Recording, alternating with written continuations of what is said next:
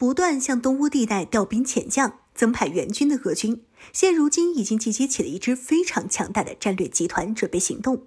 这是否意味着新一轮对东乌战略进攻的即将开始？一起来看详细分析。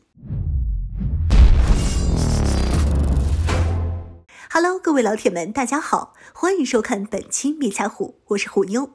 当前，俄军正在厉兵秣马，积极的集结部队，以期发动下一场大型的进攻行动。东乌的顿巴斯地区将是俄乌双方未来争夺的主要战场。此前，俄罗斯陆军兵分四路，从乌克兰的北、东南三方直插乌克兰腹地。但是没想到，乌军的抵抗远比预期的顽强，加上西方大力援助的军火和情报支援，俄军大规模全面进攻的作战方式没有取得预想中的成功。除了南部地区俄军进展异常顺利之外，像顿巴斯、苏梅、哈尔科夫一线。俄军打的是非常的艰苦，尤其是基辅一线的俄军。从二月二十七号开始，俄军危急群实际上就已经推到基辅城郊附近。三月份，基辅俄军欧级群也绕过苏梅和切尔尼科夫两个军事重镇，占领基辅东郊附近。但是，随着乌军大量集结部队和俄军在巷战中持续不断的遭遇抵抗，再加上俄军的侧翼不稳，在三月底，俄军意图收缩部队撤回白俄境内。原先攻占基辅的军事目标被转换成解放顿巴斯，因此从三月二十五号开始，俄军的危急群和欧级群同步开始向白俄境内进行快速机动后撤，而缺乏机动兵力的乌军只能眼睁睁地看着俄军快速撤离，连拦截的能力都没有。据悉，从基辅北部撤出的俄军部队分别是三十五、三十六、四十一集团军和其他独立部队。预计这些部队在四月一号撤离休整后，将被快速部署至东乌地区，准备俄军下一阶段解放顿巴斯地区军事行动。有了之前分兵的教训，此次俄军可谓是倾巢而出，将所有能部署的部队都全面集结在东乌地区，兵力集结可以说是前所未有。根据四月九号乌克兰战场的态势图可知，俄军在东乌地区部署了七个集团军和两个独立军的兵力。理论人员编制超过十五万人，可以说是俄军最强大的一支重兵集团。在东乌地区东北区域，俄军将刚刚从基辅以北撤出的三十五集团军部署在此，还有重新得到补充的第六、第二十集团军，以及强大的第一近卫坦克集团军。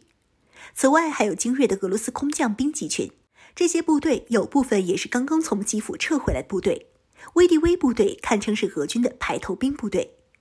在东乌东南部和马里乌波尔以西的地段，俄军也是部署了第五、八、五十八集团军和第一军和第二军。而且，英国军情六处的报告称，俄军已经针对下一阶段的军事行动，任命了总司令负责纵览全局。这些部队的新掌门人是亚历山大·德沃尔尼科夫大将。这位大将是功勋卓著的俄军大将，曾于2015年到2016年在叙利亚地区作战。在他任内，俄空天军的飞机出动了九千多架次，从里海发射巡航导弹，摧毁了武装分子的两百多个石油生产和加工设备，四百多个定居点和一万平方公里的叙利亚领土被解放。同时，德沃尔尼科夫大将率兵解除了 ISS 对克韦黎斯空军基地的长期围困，后续还拿下了巴尔米拉，为2016年8月至2016年12月的。阿勒颇战役胜利奠定基础，因此他也被普京授予俄罗斯英雄称号和勋章。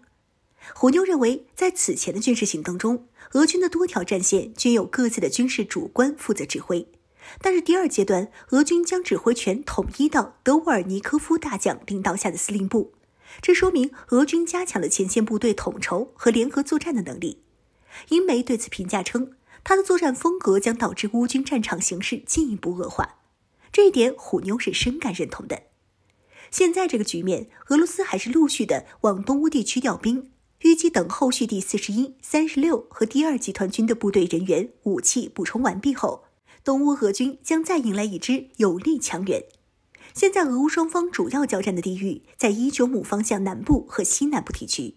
可以说此地是乌军腹背的命门，一旦丢失，东乌乌军主力部队的安全将受到严重影响。而且现阶段俄军还没有全面进攻呢，待全部部队集结完毕后，俄版大决战即将上演。一旦发起全面进攻，乌军能不能稳住都是个问题。主要是俄军已经收缩了他的力量，合兵一处，而且俄军相比乌军又是全军机械化的豪华配置，